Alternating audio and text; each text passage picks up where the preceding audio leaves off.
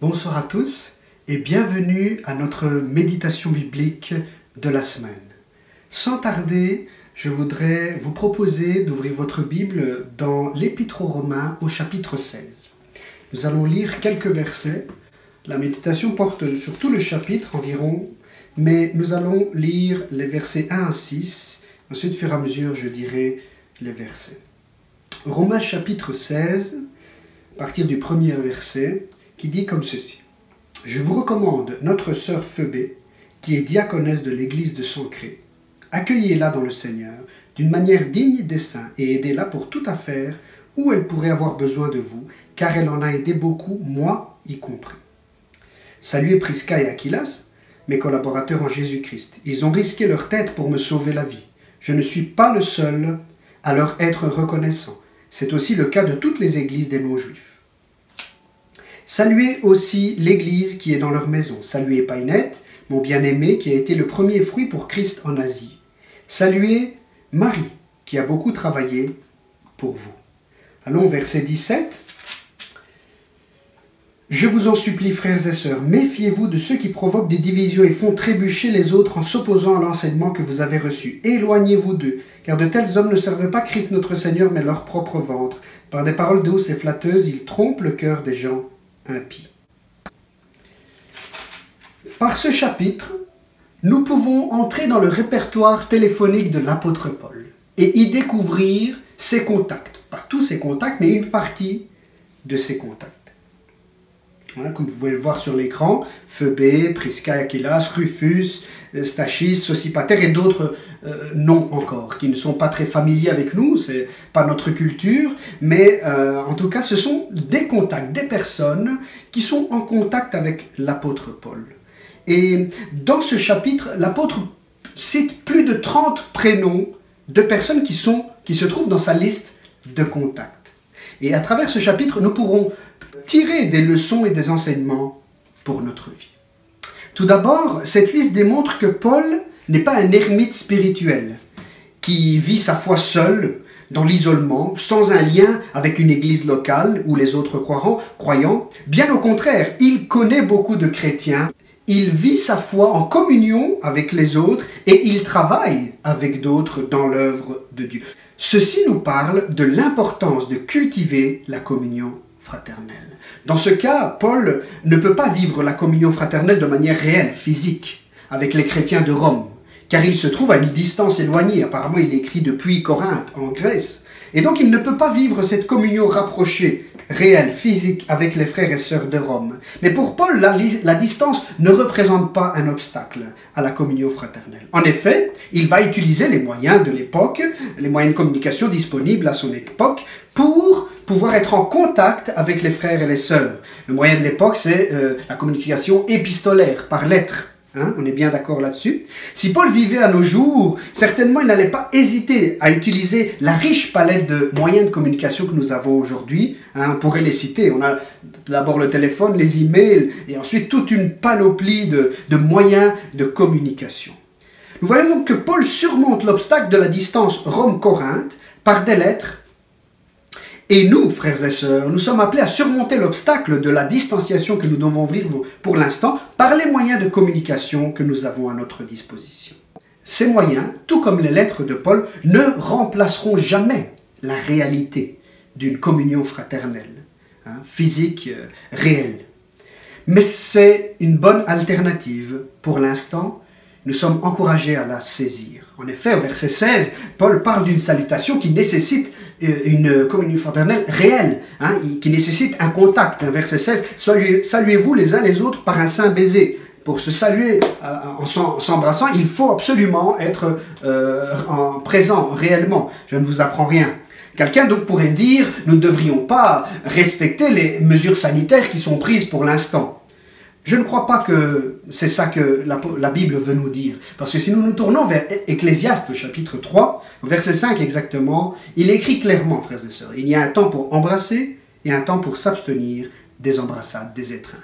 Donc, oui, la communion réelle est la meilleure, la communion fraternelle physique réelle est la meilleure. Mais euh, pour l'instant, contentons-nous des moyens que nous avons pour pouvoir rester en communion, en lien les uns avec les autres et avec notre Seigneur Jésus. Donc dans cette liste de contacts, nous, à travers cette liste de contacts, nous pouvons découvrir l'importance de la communion fraternelle qui doit être cultivée. Paul envoie des lettres pour cultiver la communion fraternelle et aussi pour enseigner, bien sûr, mais pour répondre aussi à des questions qui lui sont posées. Donc il cultive la communion fraternelle, surtout dans ce chapitre où il échange des salutations.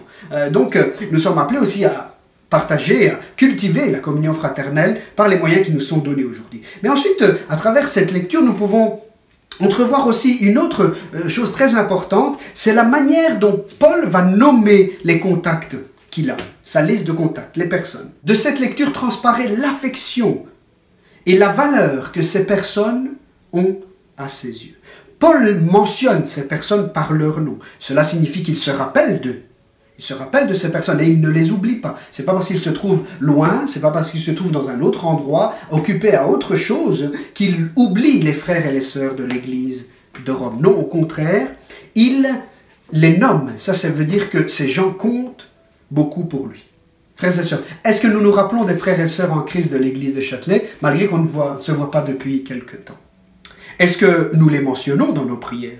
Est-ce que nous nous inquiétons pour eux? Par le fait que Paul a presque un, mot personnel pour chacun d'eux, nous pouvons ressentir en lisant ces versets l'affection, l'estime, le respect, comme on l'a dit, qu'il a pour chacun d'eux. Par exemple, versets 5, 8 et 9, Paul utilise l'expression mon bien-aimé.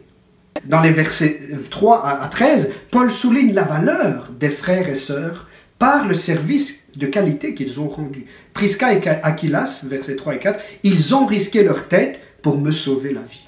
Et ensuite aussi Marie, qui a beaucoup travaillé vous. Et ensuite Tryphène et Trifose, Tryphose, elle qui travaille pour le Seigneur. Donc Paul souligne les personnes, il les nomme, mais en plus il souligne la valeur, leur valeur, la valeur de leur service, du service qu'ils ont rendu, qu'ils rendent. Je profite du moment pour remercier les frères et les sœurs qui euh, euh, se sont engagés, sont, sont rendus disponibles pour que ces vidéos puissent exister puisse être euh, donc euh, transmise pour chacun d'entre vous.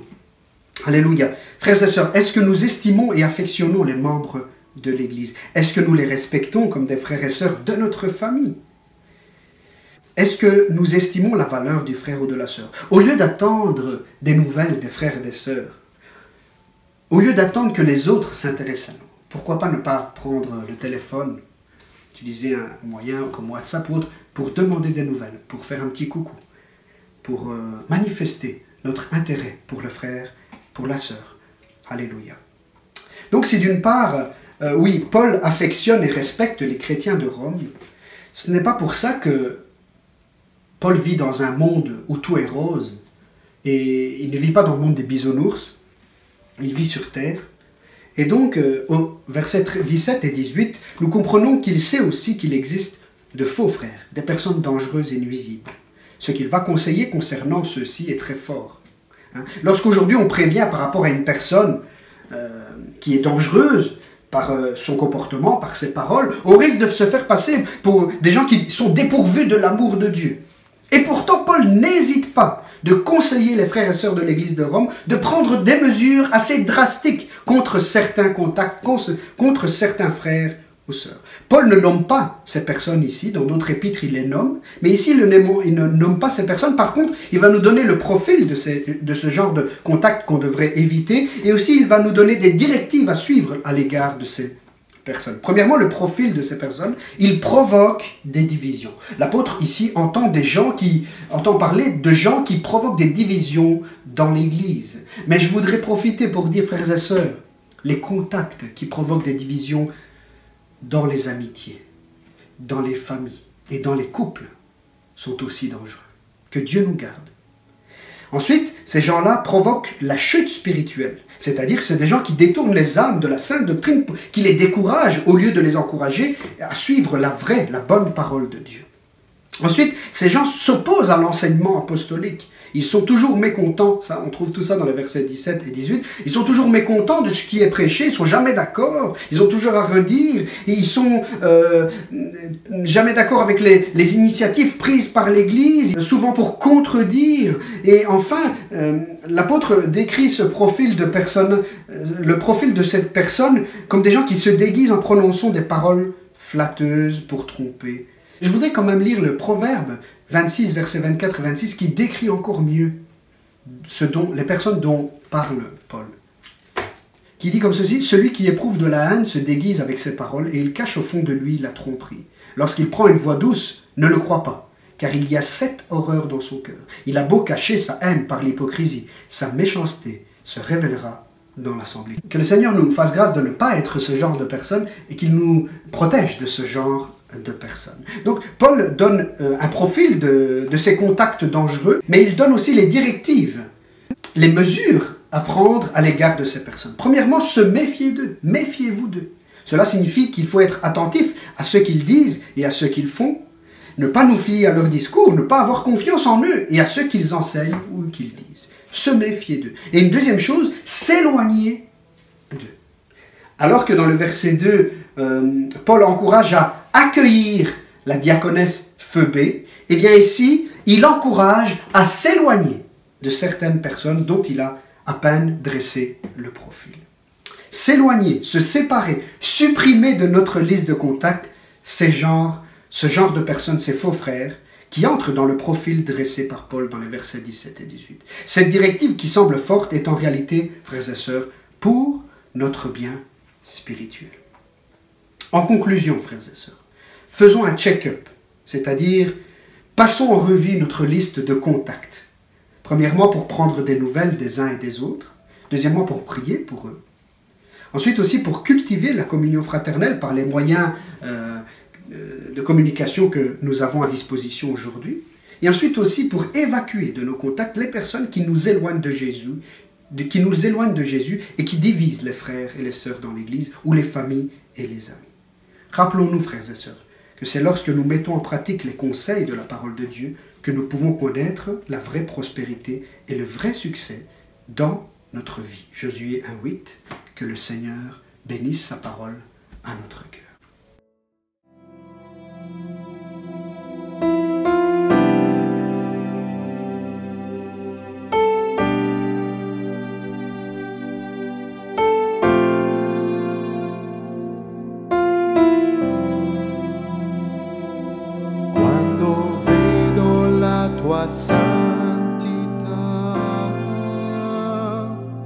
Quando ammiro la tua beltà, quel che intorno a me diventa ombra nella luce tua.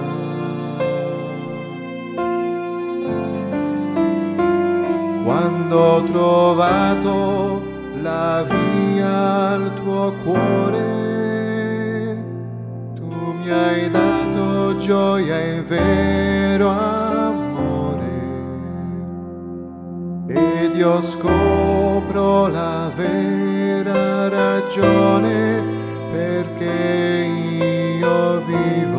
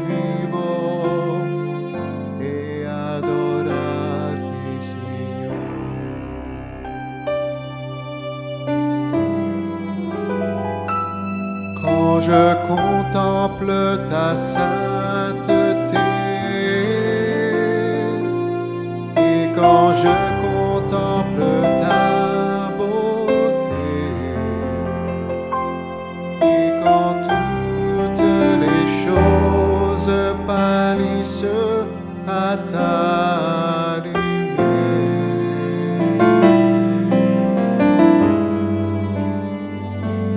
Quand j'ai trouvé la joie près de ton cœur, quand je m'enveloppe de ton amour, et quand toutes les choses pâlissent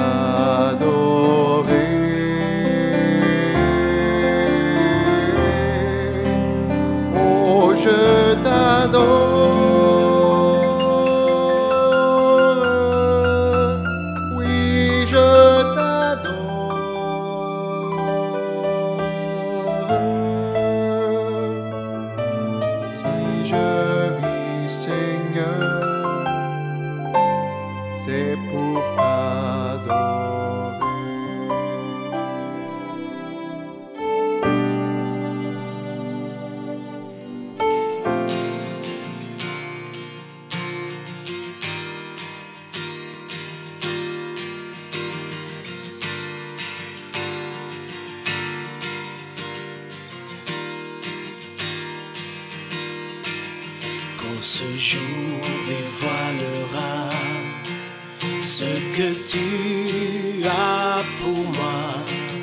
je te verrai face à face, là entouré de ta grâce, toutes mes craintes éloignées par l'éclat de ta beauté, où ton amour me suffit.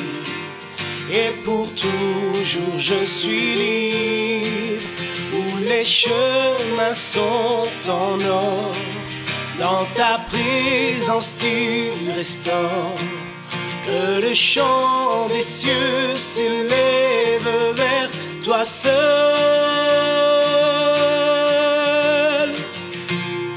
Plus de larmes, plus de souffrance, plus de peine. Je suis à toi, je suis à toi.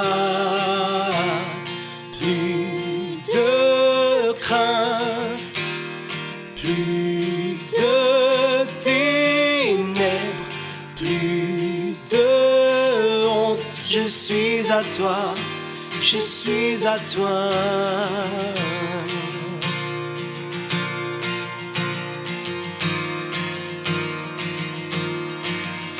Cette vie, je tiens ferme.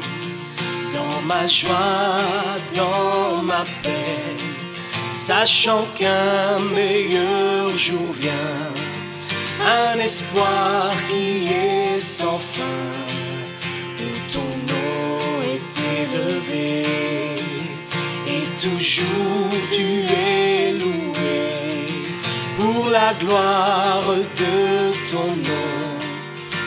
Ce jour, nous attendons quand la violence cessera. Seigneur, ta paix régnera. Que le chant des cieux s'élève toi seul.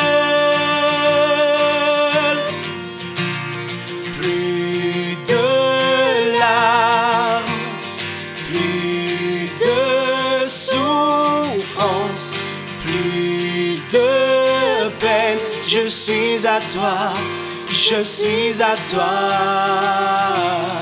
Plus de crainte, plus de ténèbres, plus je suis à toi, je suis à toi.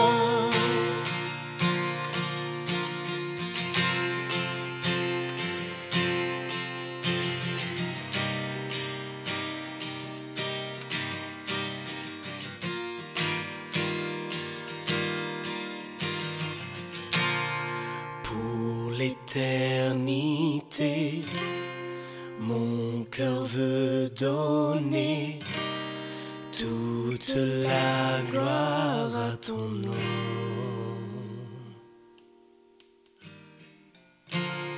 Pour l'éternité, mon cœur veut donner toute la gloire à ton nom.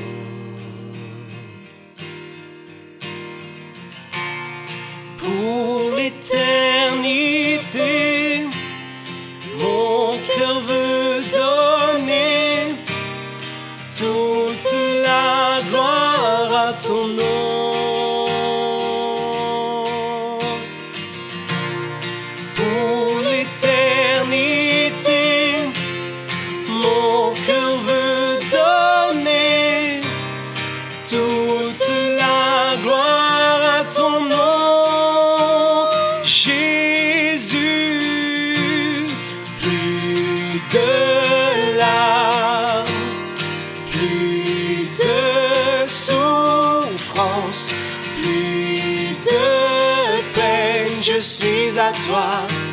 Je suis à toi.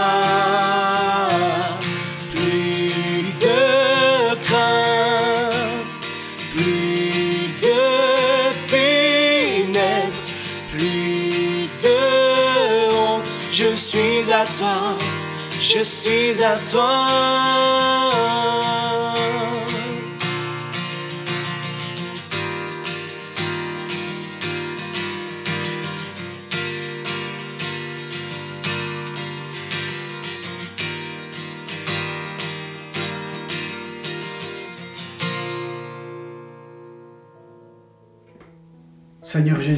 Nous venons à toi en cet instant, après avoir chanté tes louanges. Nous voulons te remercier parce que toi tu es digne. Nous reconnaissons nos manquements. Pardonne-nous pour toutes les fois où nous avons peut-être prononcé des mots, où nous avons eu des attitudes, des comportements qui divisent au lieu d'unir. Aide-nous Seigneur, à chacun d'entre nous à être des agents d'unité, d'unification dans l'Église, de fortification pour l'Église, et non pas des agents euh, de division. Nous te prions aussi de nous donner la sagesse, afin qu'on puisse comprendre euh, avec qui nous devons euh, collaborer, avec qui nous devons être en connexion et avec qui nous devons nous garder, avec qui nous devons euh, faire attention et se méfier. Merci Seigneur. Merci parce que ce temps va certainement euh, se terminer, se conclure et nous pourrons enfin vivre cette communion fraternelle non plus virtuelle mais réelle. Et nous pourrons jouir de la communion fraternelle ensemble, nous pourrons offrir un culte d'adoration, de louange à toi. Mais pour l'instant, Père, nous voulons continuer à mettre ta parole en pratique, à obéir à, à toi, à ta parole et à continuer à cultiver notre communion avec toi, Seigneur. Aide-nous et aussi avec les frères et les sœurs. Nous te remercions et nous te louons. Reste avec chacun. Va trouver tous ceux qui souffrent en cet instant, dans l'Église et même à l'extérieur. Nous te remercions et nous te bénissons dans le nom de Jésus. Amen. Alléluia.